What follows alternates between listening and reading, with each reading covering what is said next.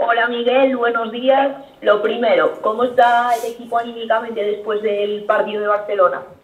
¿Qué tal, Rocío? Eh, siempre te contesto igual, pero no, a ver, hombre, fue, fue un palo, ¿no? Porque, bueno, ya lo dije aquí en rueda de prensa, que podía ser que fuéramos y perdiéramos. Yo, yo contaba con ello, porque al final, eh, si hay algún partido en el que tienes más posibilidades de perder, son ese tipo de partidos, ¿no? Contra un recién descendido como es el español con un presupuesto de primera división y bueno, son los partidos que sabes que tienen más posibilidades de perder. Se perdió, eh, obviamente el viaje de vuelta pues, fue más duro de lo habitual y de lo normal, porque bueno, porque el estado anímico no es el, no es el mejor, pero al día siguiente estábamos muy bien otra vez. Al final esto es como, como que te digan que te queda mal una camisa y, no volver a ponértela. Pues ya vimos lo que no funciona y a partir de ahí pues, pues saber que no, que no puede volver a pasar, que no puede volver a repetir esos fallos y dejar de ser nosotras. Es que al final es siempre lo mismo. Dejamos de ser nosotras y se aprovechó el español. Oscar Martínez, de marca. Sí, Miguel, quería preguntarte un poco a nivel de bajas, ¿no? ¿Con quién no cuentas para este partido contra, contra Pradejón? Buenos días, Oscar. Pues no contamos con Alba todavía y con Laura, que tiene unas molestias en el isquio, si no recuerdo mal, y es baja. Con el resto ya están todas de vuelta, así que, salvo ya dos, tenemos, tenemos a todas las demás. Pablo González, de Babel. Hola, buenos días, Miguel. Quería saber qué pieza crees que falló el otro día ante el español para que no consiguierais sentiros del todo cómodas y si esa derrota te hace dudar un poco del estado de ese filete del que nos habla siempre.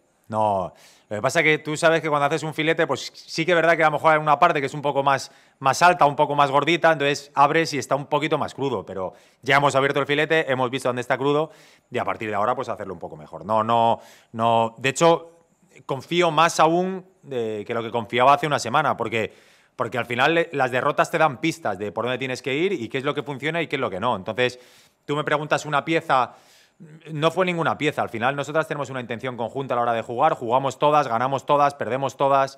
Eh, y todas nuestras acciones se basan en el movimiento de las 11, diría. Por lo tanto, no hubo una pieza eh, clave. Sí que es verdad que, bueno, esto es como, como el barro, ¿no? No sabe muy bien, mezcla de agua, de gasolina, pues esto es lo mismo. Ahí me imagino que hay varios, varios, varios temas que se mezclan ahí, pues a lo mejor la vuelta de Navidad, eh, no sé, el viaje que fue un poco más, más duro de normal. Bueno, eh, cosas que se mezclan que al final hacen que no salgas eh, quizás como tienes que salir y te vayas por un camino que realmente no es, no es el idóneo porque no es el nuestro y cuando quieres volver pues ya no, no, sabes volver y entonces ya no sabes darle la vuelta a ese, a ese partido. Además nos marcan en el minuto 12 creo que, nosotras tenemos varias y no marcamos. Bueno, fútbol al fin y al cabo, no, no, hay mucho más, no hay muchas más vueltas que darle. Sara Gallego, Radio. Hola, sí, Miguel, ¿qué tal? Eh, buenos días. Eh, me gustaría preguntarte un poco por el próximo partido, porque el Pradejón es el único equipo, junto a vosotras, que ha ganado al Levante Las Planas y que ha competido muy bien contra los equipos de, digamos, candidatos al ascenso, los equipos de arriba. ¿Y qué esperas un poquito en este segundo compromiso fuera de casa también?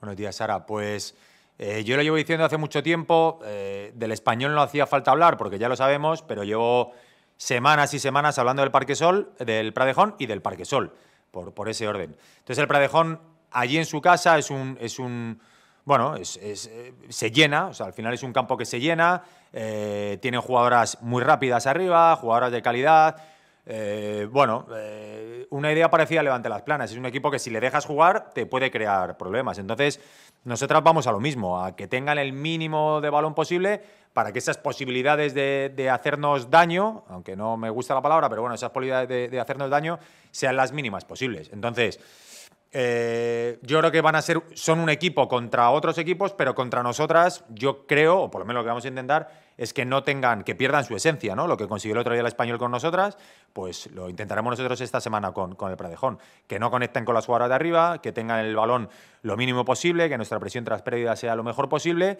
y que no nos afecte del todo, bueno, pues eh, yo creo que el frío que va a hacer, eh, bueno, el, campo, la gente, el estado del terreno de juego, que nos afecte lo mínimo posible porque no depende de nosotras, y a partir de ahí hacerlo nuestra, coger nuestro, nuestro camino, el que, el que hacemos siempre, y, ya está, y que no haya, no haya posibilidad de, de, dejarnos ningún tipo de punto porque desde el primer minuto hasta el 90 estemos donde tenemos que estar. Me llamabas ahora, Miguel, que, ya habías hablado de este partido en las últimas semanas, de la importancia que le dabas tú tanto a Pradejón como a Parquesol, por ser al final pues rivales que no son directos, como puede ser el español, que están más abajo y que siempre puede dar lugar pues a esas relajaciones.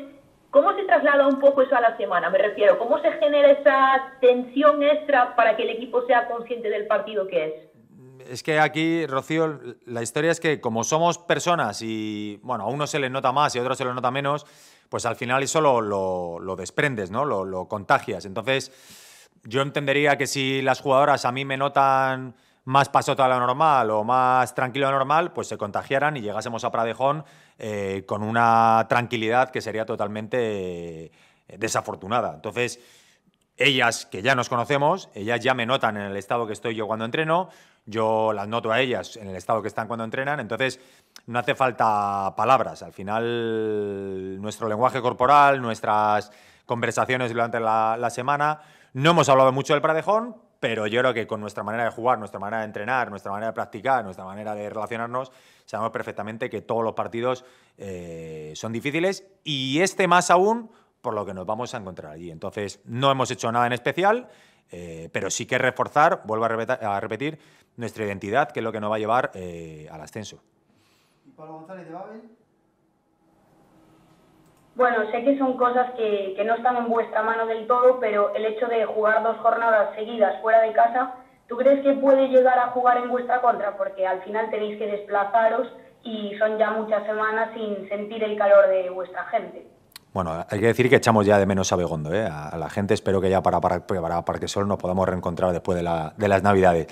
Y sí, bueno, obviamente no es lo mismo jugar aquí que jugar fuera, pero es que obviamente como no podemos hacer absolutamente nada, sí que algo influirá, lo que dices tú del viaje, al final son siete horas de bus para allá, eh, repito, el frío que va a hacer allí eh, no lo sabe nadie, el campo estará como está, la gente que vaya, pero bueno, eh, lo bueno de esto es que es como la vida que hay ida y vuelta, por lo tanto nosotros vamos ahora, pero cuando vuelvan ellas, pues encontrarán algo que tampoco, que tampoco será favorable para, para el Pradejón. Por lo tanto, 50-50. ¿Alguna cosa más? Listo. Gracias, mister. Muchas gracias. Mucha suerte. Vámonos.